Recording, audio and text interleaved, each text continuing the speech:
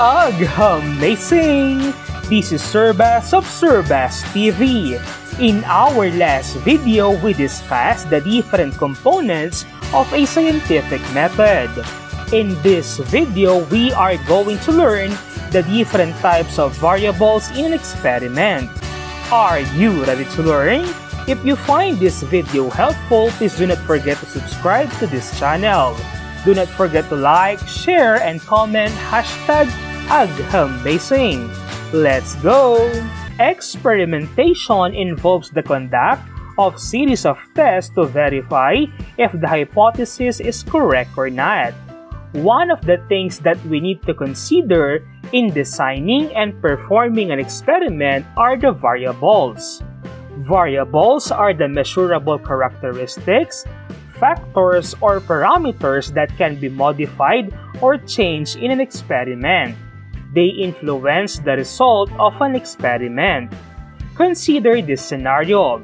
You want to find out the effect of the different types of soil to the height of the plant. The different types of soil that you use and the height of the plants are the variables in this scenario. Next example, you want to measure the effect of artificial and organic fertilizer to the number of fruits that a plant will yield. What do you think are the variables in this experiment? If your answer are the types of fertilizer and the number of fruits that a plant will yield, then you are right. There are three types of variables in a scientific experiment. These are independent variable, dependent variable, and controlled variables. Independent variables are also called the manipulated variables. Independent variables are the factors or conditions that you can change in an experiment. These are the variables that you change or manipulate to see their effect on the experiment. Independent variable is the cause why there is a change in another variable in an experiment. In the case of type of fertilizer versus number of fruits yielded, the type of fertilizer is the independent variable. The type of fertilizer is the condition that we manipulated to see its effect on the number of fruits that will be yielded. The variable that is affected by the change that you made in the independent variable is called the dependent variable.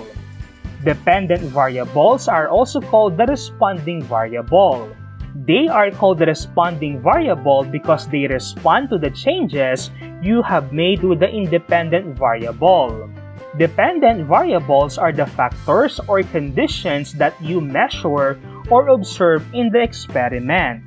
They are the effect of the changes that you made in the independent variable. In the case of type of fertilizer, versus number of fruits yielded, the number of fruits yielded is the dependent variable. The number of fruit that will be yielded by the plant is dependent on the type of fertilizer that was used in each plant. The last type of variable is the controlled variable. This is the variable that you keep constant or unchanged during an experiment. These are kept constant so that they will not affect or influence the outcome of the experiment. Consider this to easily remember the difference among the three variables. Independent variables are the conditions that you manipulate or you change in an experiment. Dependent variables are the results or the effect that resulted in experiment because of the changes that you made with the independent variables and controlled variables are the conditions that you keep the same all throughout the experiment. Let us try to identify the variables in this scenario. Ian wants to find out the effect of the amount of food on the weight of tilapia fish. One tank of tilapia is fed the normal amount of food once a day, a second tank is fed twice a day, and a third tank four times a day during a six-week study. Ian made sure that the type of food given to the fish and the sizes of the tanks are the same. What is the independent variable in the study? If your answer is the amount of food that was given to tilapia in each tank, then you are right. Why is this so? It is because the amount of food given to tilapia is the variable that is being manipulated or changed. The first tank is fed once a day, the second tank is fed twice, and the third tank is fed four times a day. Next, what is the dependent variable? The dependent variable in this scenario is the weight of the tilapia after a 6-week study. This is because the weight of tilapia is the one being observed or recorded. Moreover, it is a dependent variable because the weight of the tilapia depends on the amount of food given to them. Next, what are the controlled variables? If your answers are the type of food and size of the tank, then you are correct. Let us analyze another scenario and identify the variables. Christian wants to find out what brand of fertilizer is more effective in making a corn plant yield more fruits. He decided to design an experiment. He planted a corn plant in pot A and added brand A as a fertilizer. He planted another corn plant in pot B and added brand B as fertilizer. Christian made sure to give each corn plants the same amount of fertilizer, water, and sunlight.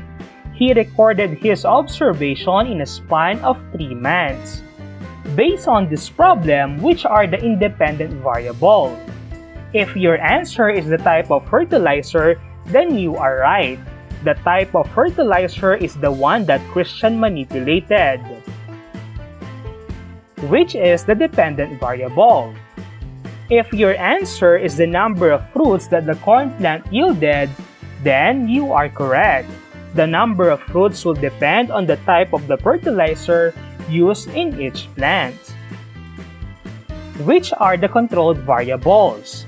The controlled variables in this scenario are the amount of fertilizer, water, and sunlight. They were considered controlled variables in this experiment since their amount is the same on both pot A and pot B. And those are the different variables in a scientific experiment. Independent variables are the conditions that you manipulate or you change in an experiment. Dependent variables are the results or the effect that resulted in experiment because of the changes that you made with the independent variables and controlled variables are the conditions that you keep the same all throughout the experiment. See you on our next science lesson. Ag amazing!